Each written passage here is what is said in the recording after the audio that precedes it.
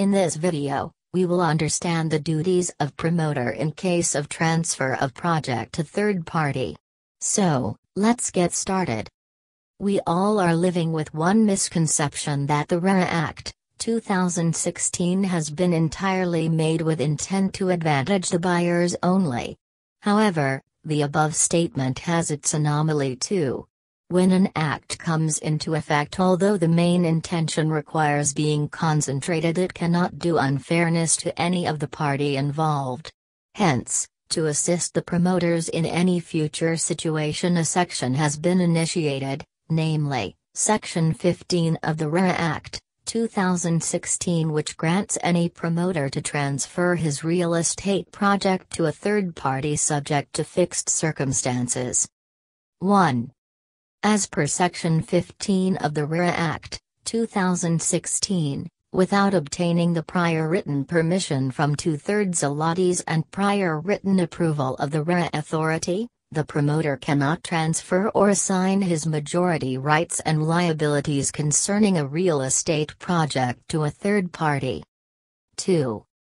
According to the proviso to Section 15.1 of the RERA Act, 2016, the above transfer or assignment to the third party shall not have any impact on the allotment or sale of the plots made by the former, previous, promoter. 3.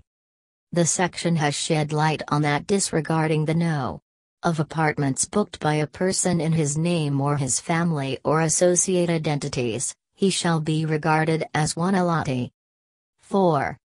As per Section 15.2 of the RERA Act, 2016, the planning, new, promoter shall be needed to separately follow with all the pending obligations under the Act and pending obligations as per the agreement for sale entered into by the former promoter with the allottees.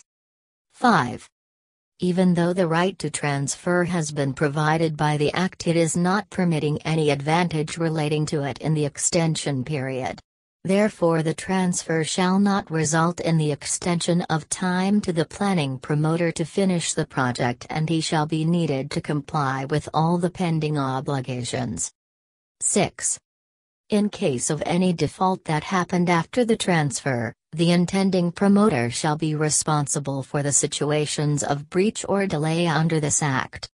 Hence, Prefer wisely before investing in any project and the developers must be aware of their rights and duties. If you found this video helpful, please like, subscribe, share and press the bell icon to get notifications about our new updates on videos.